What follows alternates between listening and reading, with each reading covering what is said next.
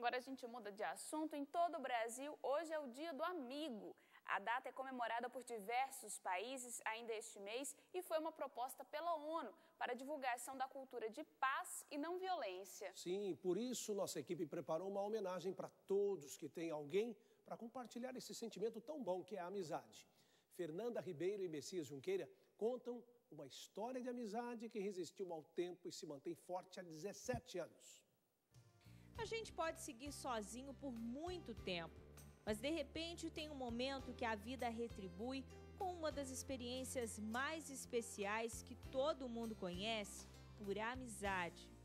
Assim começa a história da Priscila e da Daniele. O início foi há 17 anos na escola, aos 7 e 8 de idade. Desde essa época percebiam que tinham personalidades diferentes, mas se descobriam uma na outra. Ela sempre foi certinha, eu sempre fui totalmente relaxada. o sentimento foi amadurecendo junto com as meninas. Apesar da distância de alguns anos, estudando em classes e locais distintos, nunca deixaram de estar juntas, como nos aniversários, que sempre passaram unidas. Quando é verdadeira, o tempo e a distância não impedem uma amizade de crescer. A Priscila e a Dani passaram por tudo isso e continuaram amigas. Tava tudo muito bom, mas elas decidiram melhorar essa parceria. Isso aconteceu com a chegada de alguém muito especial. Essa fofura aqui é a Liz, filha da Dani e agora a filhada da Priscila.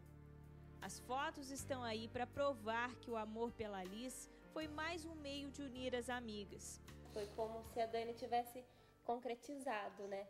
É, esse laço existente. Empatia, lealdade, confiança, muitos fatores podem fazer nascer uma amizade. O desafio de cultivar está no dia a dia, mas quando o sentimento existe, não há como deixar de ser feliz. Essa sensação de companheirismo, de acolhimento, ter, estar sendo respeitado, de ter com quem contar, sabe? Isso gera prazer, isso gera bem-estar. Eu tenho muita sorte de ter. Nós temos sorte, né? E nós vamos estar sempre juntos, né?